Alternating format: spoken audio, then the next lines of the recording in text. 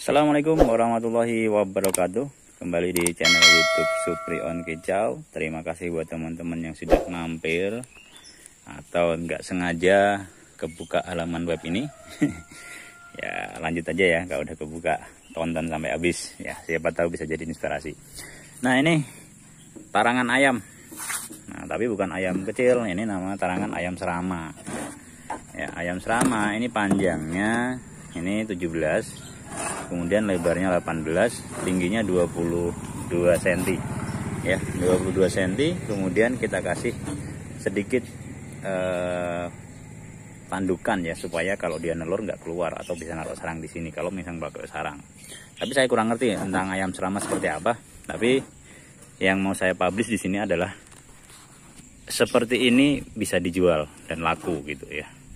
Ya buat teman-teman yang mungkin waduh mau kerja apa dan sebagainya belum punya kerjaan.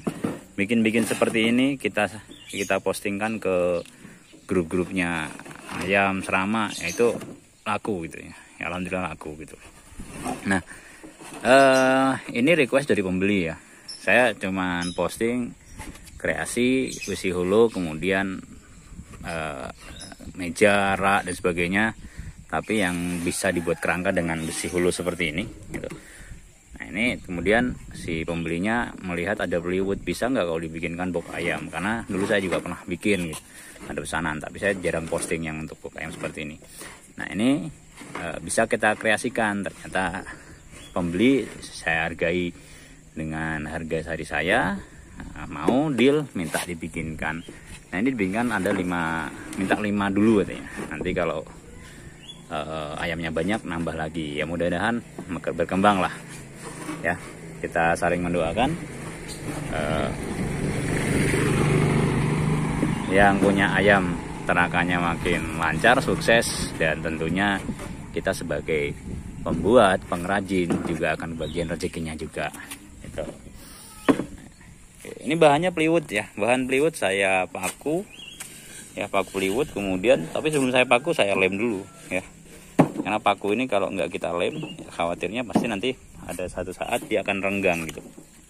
Kemudian saya finishing dengan amplas. Ini saya amplas sudut-sudutnya supaya lebih rapi dan lebih enak dipandang gitu ya. Walaupun cuma buat ayam tetapi sebagai penjual sebagai pengrajin kita juga pengen eh, pembuatan atau karya kita diacungi jempol oleh pembeli itu. Dan tentunya senyuman di pembeli itu juga menjadi eh, motivasi kita ya untuk lebih baik berkarya lagi dalam berkarya lagi ya. Oke terima kasih untuk semuanya. Buat teman-teman yang sudah nonton ya mudah-mudahan bisa jadi inspirasi ya. Cara bikinnya ya tinggal dipotong-potong aja. Cuman masalahnya kalau motong pakai manual juga harus sabar. Kalau saya pakai mesin potong ya udah ada polanya tinggal dorong aja ya. Istilahnya tinggal sorong ya tapi tetap ketika kita mau usaha insya Allah ada jalan. Ya terima kasih untuk semuanya. Yang belum subscribe silahkan subscribe. Salam. Ini salam apa ya? Kalau burungan salam kecamania ini salam kukuruyuk lah. Ya.